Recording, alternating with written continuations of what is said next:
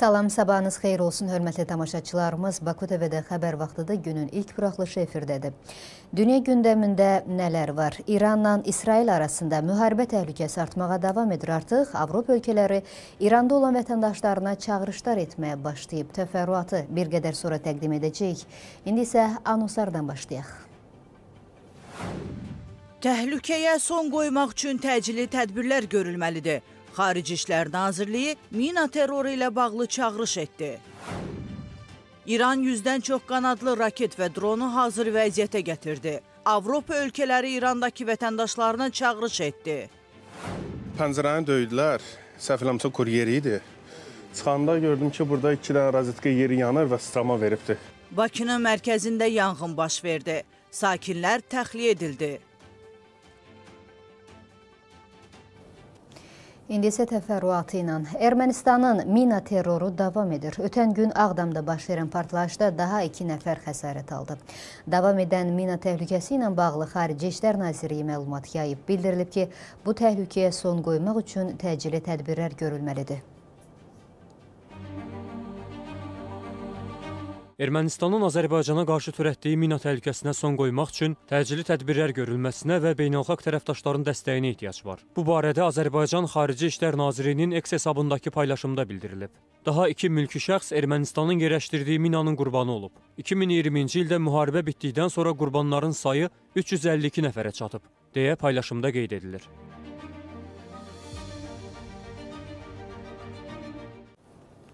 Ötən gün Ağdamda minaya düşərək xəsarət alan şəxslərin son durumu açıqlanıb. Bərdə rayon mərkəzi xəstəxanasına yerləşdirilən yaralılardan birinin vəziyyəti ağır olaraq qiymətləndirilir. Qeyd edək ki, onlar öz doğma torpaqlarını ziyarət etmək üçün Ağdama gedərkən minaya düşüblər.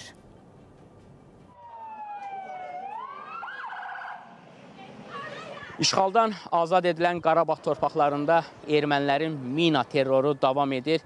Bu dəfə Ağdam rayon sakinləri doğma torpaqlarını ziyarət edən zaman Ağdamın işğaldan azad edilən kəndində miniyə düşüblər. Hər iki şəxs ayağından ağır xəsarət alıb. Yaralılar təcili tibbi yardım avtomobillərinin köməkliyi ilə Bərdə rayon mərkəzi xəstəxanasına çatdırılıb.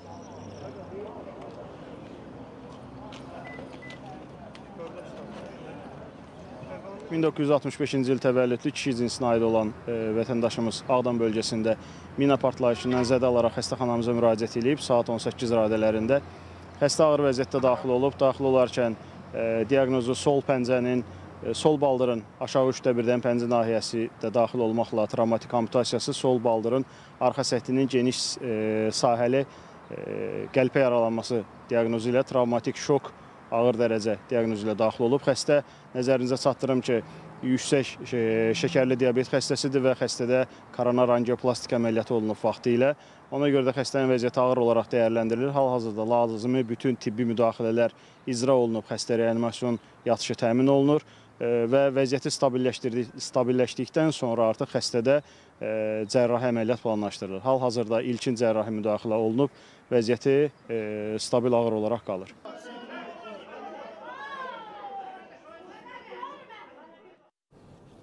Ermənistanda hərbçilər yol qəzasına düşüb, belə ki, əskərləri daşıyan yük maşını aşıb. Nəticədə çoxlu sayda ölən və yaralananlar var. Ermənistan Silahlı Qüvvələrinə məxsus avtomobil qəzaya düşüb. Bu barədə Ermənistan Müdafiə Nazirliyi məlumat yayıb.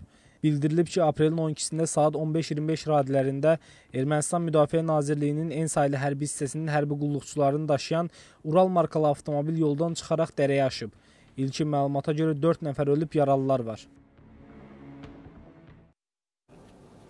Baku Newsa baxırsız, İranla İsrail arasında müharibə təhlükəsi davam edir. Amerika Birləşmiş Ştatları mətbuatının yerli rəsmilərə istinadən yaydığı məlumata görə rəsmi Tehran Təl-Əvivə hücum üçün çoxlu sayda raket və dronlar hazırlayıb.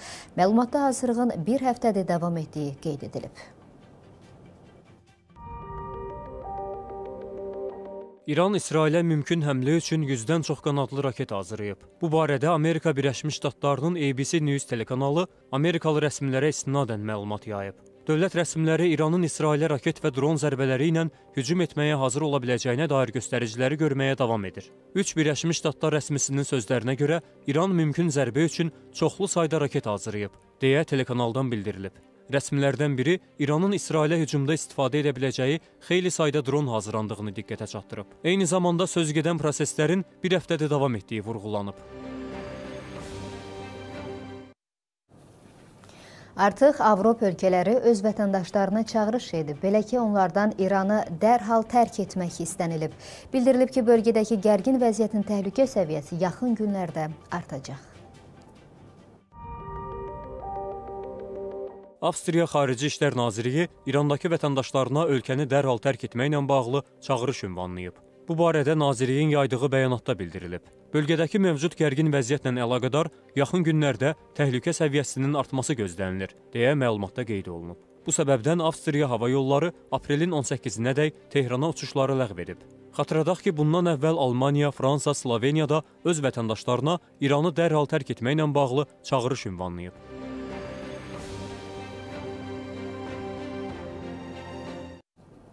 Bu arada İranın hərbi qruplaşmaları maliyyələşdirməsi ilə bağlı məktub ələ keçib. Məlumata görə rəsmi Tehran 2020-ci ilə qədər 6 il ərzində Həmas qruplaşmasına 222 milyon dollar pul ayırıb.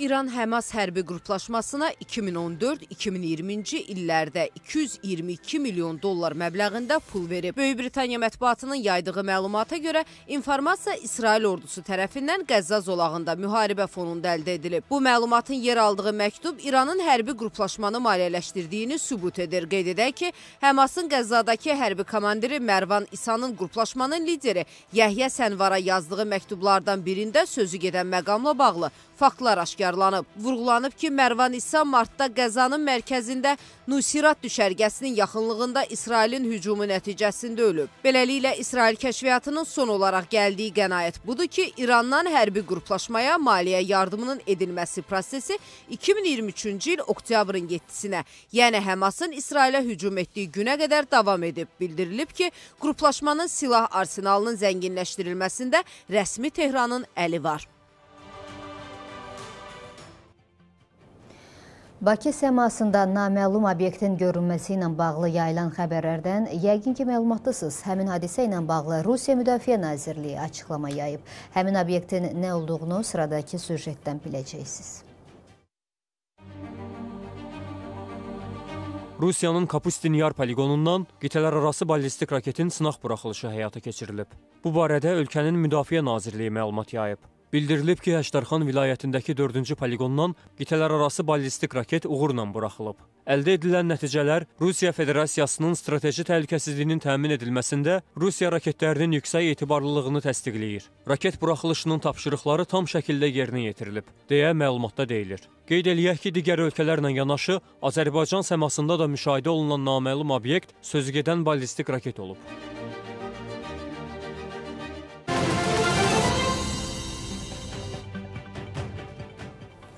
Xalq yazıçısı Çingiz Abdullayevin vəziyyəti ağırlaşıb. Bu barədə sosial şəbəkələrdə məlumat yayılıb. Onun mərkəzi gömrük xəstəxanasına yerləşdirildiyi deyilir.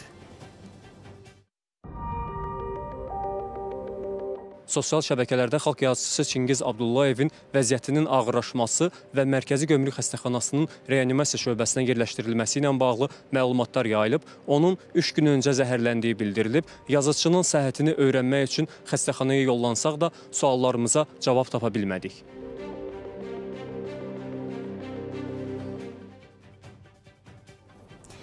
Davam edirik. Bakıda yanğın baş verib. Hadisə paytaxtın Nəsimi rayonu Əlimərdan Topçubaşov küçəsində yerləşən evlərdən birində qeydə alınıb. Hadisəyə qısa qapanmanın səbəbi olduğu bildirilir.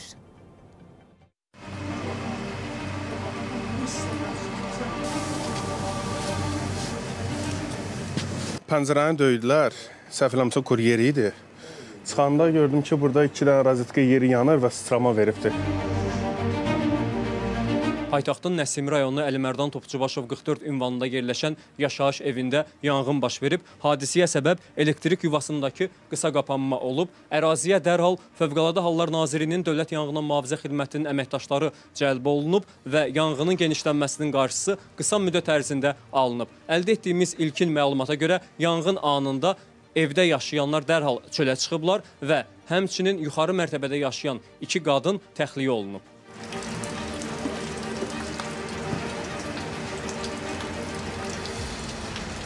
Orada qısa qapanma olubdu iki dənə rozetka yerində. Elənisinə baş veribdi. Yəni son kəz bunu görmüşdüm. Burada kimlər yaşayırdı? Kiraslar yaşayırdı. Yəni kirada qalırdılar və qonşulardan eşitdiyimə görə elə onlar ya- yanğın söndürənləri çağırıblar və indi hara gediblər söz bilmirik.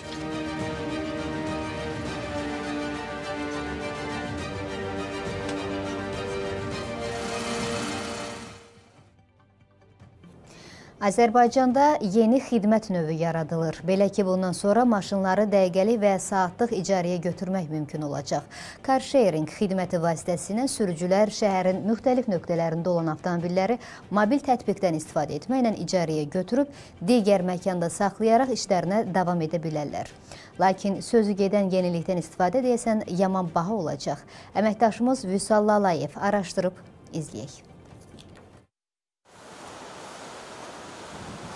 Karşering xidmətinin istifadəsinə verilməsi üçün ölkəyə yeni avtomobillər gətirilib. Eyni zamanda bu avtomobillər şəhərin müəyyən nöqtələrinə park edilib. Həmçinin avtomobilin üzərində bax bu cür istifadə qaydaları da yerləşdirilib ki, insanlar onun istifadə qaydaları ilə tanış olsunlar. Daha sonra isə proqram təminatına keçid üçün QR kod da yerləşdirilib ki, vətəndaş QR kodu oxudaraq proqrama keçid edir. Proqramın qeydiyyatdan keçdikdən sonra isə karşering xidmətinin təqdim etdiyi avtomobildən istifadə edə bilir. Təbii ki, bunun üçün həmin şəxsin ən azı 2 illik sürücülük təcrübəsi olmalıdır. Yəni onun sürücülük vəsiqəsinin müddəti 2 ildən çox olmalıdır.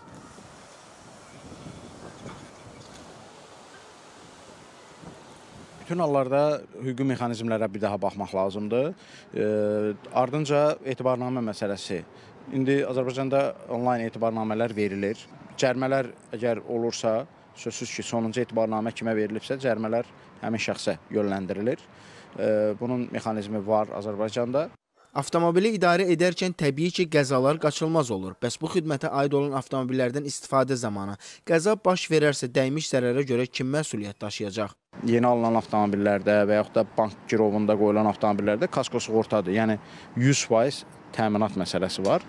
Ona görə e, avtomobilin qiymətinə uyğun kasko sığorta mütləq ediləcək ki, bu risklər qarşılansın. Amma vətəndaşlar da məsuliyyətli olmalıdırlar. İndi başqasının maşınıdır deyə aparıb dağıtmasınlar. Təbii ki, avtomobili icarəyə götürərkən müəyyən bir məbləğ də ödənilir. Belə ki, ilkin ehtimal olunur ki, sedan avtomobillərinin qiyməti 1 dəqiqəsi üçün 60 qəpikdir. Qiymət məsələsinə gəldikdə isə düşünürəm ki, bu heç də ucuz qiymət deyil. Ona görə vətəndaşlar belə e, həvəslənməsin ki, bu elə taksi kimidir. İstədiyin yerdən minib e, gəzə bilərsən şəhərdə. Xeyr, bu kifayət qədər bahalı bir e, xidmət sahəsidir. E, taksiyə verdiyiniz pulun deyək ki, 3 qatını nəzərdə tutun təxminən. Şəhərin tıxacını nəzərə alsaq, minimum 1 saat siz bunu idarə edə edəcəksiniz. E, təxminən 1 saatlıq bunu idarə eləmək 30-40 manat məbləğ deməkdir. Karşering xidmətinin aplikasiyası istifadəyə verilsə də hələlik sınaq mərhələsindədir. Buna görə də xidmətdən istifadə etmək mümkün deyil. Belə hörmətli tamaşaçılarımız, bu saata çatdıracaqlarımız bu qədər. Bizi sosial şəbəkə hesablarımızdan izləməyə davam edin.